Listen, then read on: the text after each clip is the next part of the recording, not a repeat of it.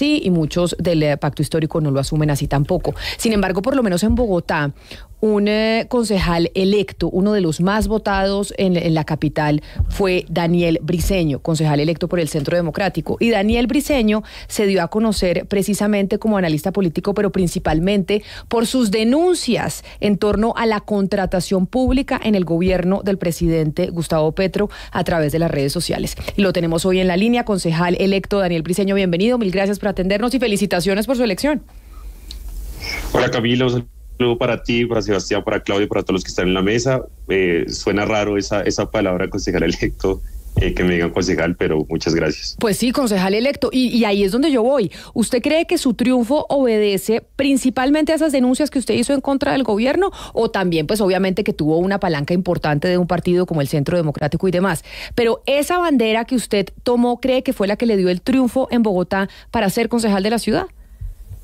A mí yo, yo creo y estoy totalmente seguro que lo que llegó a respaldarnos y a llevar esta gran votación de 48 mil votos al Consejo de Bogotá tiene que ver en primer lugar con habernos presentado como una propuesta de control real y efectivo. No solo hacemos denuncias en contra del gobierno Petro, también nos hice muchas en contra del gobierno de Claudia López, Daniel Quintero, estuvimos monitoreando el tema del PAE también en Magdalena. Bueno, entonces, e, esa visión de que la gente ve que sabemos hacer control, de que podemos hacerlo y que además entendemos también cómo funciona el Estado y el distrito, creo que nos lleva a eso. Pero en segundo lugar, creo que también la forma en cómo hicimos la campaña nos lleva a esto, es que decidimos hacer una campaña de opinión, no tuve diles, no tuve líderes, simplemente hice una campaña de redes sociales y calle.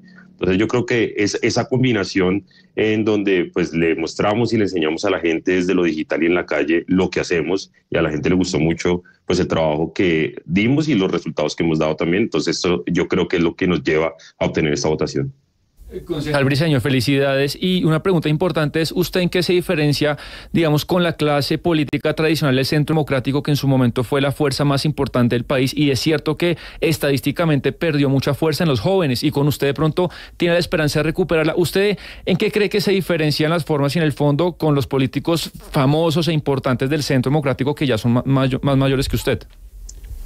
Bueno, en primer lugar, que yo no hago política ni gremial, aunque respeto a los que hacen política gremial, tampoco hago política de apellido. Yo soy una persona que vengo de una familia normal, en mi familia no hay nadie político, que estudió con el ICETEX, que se conectó en la calle con la gente, pero sobre todo que está hablando de cosas muy específicas y muy importantes para los jóvenes. Les hablamos de la necesidad de tener una tarifa eh, diferencial de transporte público, también les hablamos de la necesidad de reducir el derroche de 1.2 billones de pesos que encontramos en el distrito en los últimos años para poderlo destinar a más programas de como jóvenes a la U.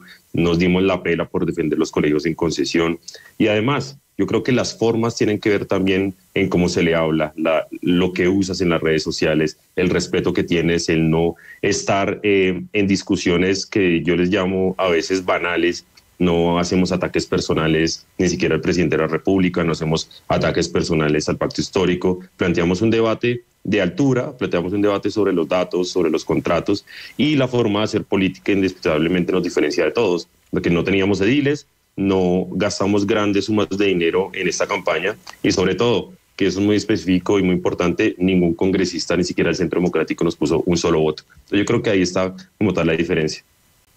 Pero, concejal Briceño, usted dice que usted es un voto de opinión y de verdad, uno cómo se puede definir, definir a sí mismo voto de opinión eh, si tiene detrás un partido que ha tenido, pues, eh, toda una fuerza electoral que ha tenido eh, fuerza en el Congreso, que ustedes eh, fueron, pues hasta ahora son siete eh, curules obtenidas, ¿cómo puede decir que es de opinión? Si tiene toda la fuerza electoral del Centro Democrático, que además pues tiene uno de los líderes que puede ser el político más importante, uno de los políticos más importantes de Colombia, que es Álvaro Uribe.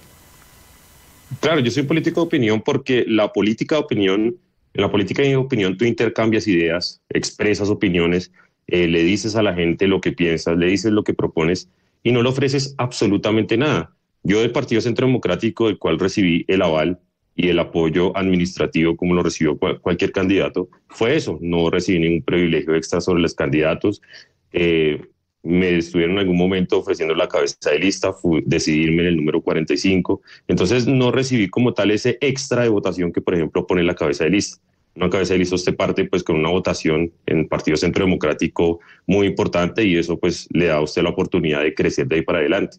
Yo inicio una, una campaña desde ceros, como te le digo, una campaña que duró exactamente tres meses, eh, lo, lo, que era permitido por ley, pero yo sí me considero un, candidato de opinión porque no tenía ni estructura, no tenía ningún nicho tampoco político, no tenía ningún grupo de interés apoyándome, ni animalistas, ni cristianos, ni, ni nada de esto como sucede también en otras campañas. Entonces, literalmente fue pura opinión. Yo el día de ayer, el día electoral, no sabía quién iba a salir a votar por mí, no sabía cuántos iban a salir a votar por mí y no sabía ni siquiera dónde estaban. Eso, eso, eso es lo que me define como eh, un político opinión. Concejal electo Daniel Briceño, usted se dio a conocer, como lo decía yo al principio, por sus denuncias eh, muy rigurosas en torno a la contratación pública, tanto del gobierno nacional como del de la alcaldesa Claudia López. Ahora que está en Bogotá, o sea, elegido para ser concejal de Bogotá, su concentración estará en hacerle esa, eh, en ponerle esa lupa a la administración de Carlos Fernando Galán y se va a olvidar del gobierno nacional o qué va a hacer?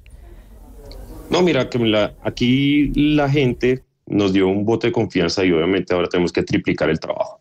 Que tenemos nuestro trabajo como concejal de Bogotá, que tiene que estar enfocado en llevar y sacar adelante los proyectos de esa ciudad, en controlar todo lo que pasa aquí en la administración, en controlar los 14 sectores de la administración distrital, en mirar y transversalmente los temas que nosotros normalmente le ponemos lupa, pero al tiempo también nos toca sacar y nos toca reservar una buena porción del tiempo para seguir haciendo auditoría a nivel nacional. Eh, lo vamos a seguir haciendo, vamos a hacer las dos cosas a la vez, claro está, vamos a enfocarnos en el tema también de Bogotá muy, muy profundo, porque pues para eso no nos eligieron. Pero al lado de eso vamos a seguir con las denuncias en Bogotá, pero sobre todo en Colombia también, pero sobre todo también vamos a comenzar a enseñarle a la gente a hacer control. Yo creo que es importante que tanto en Bogotá como en todos los municipios del país la gente aprenda a hacer control. La gente no le coma cuento al político, ni al concejal, ni al diputado, ni al alcalde, que la gente al menos sepa si esa vía que hicieron costó tanta plata, si eso que compraron costó eso que les dijeron que costó. Yo creo que desde ahí tenemos una labor. Nosotros le hemos enseñado a mucha gente a hacer control en varias partes del país y eso es lo que vamos a seguir haciendo también. Pues es el concejal electo de Bogotá por el Centro Democrático, Daniel Briceño, uno de los más votados con 49 mil votos. Felicitaciones y mil gracias por haber estado con nosotros. Una feliz resto de día. No, a ustedes, Camila, a todos los que están en la mesa, Dios los bendiga y gracias a todos los bogotanos que nos acompañaron en este proyecto.